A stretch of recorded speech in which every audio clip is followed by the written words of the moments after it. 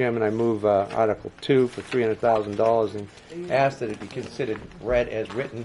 It is for the purposes of the uh, $300,000, which is going every year for school building maintenance stuff. I'll second. Seconded, motion by Tim, seconded by Steve Henderson. Uh, Discussion No. from anybody, seeing none? Okay, those in favor?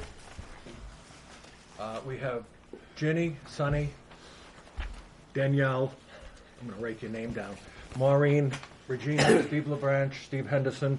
Those opposed? David? Abstaining? Tim Jones?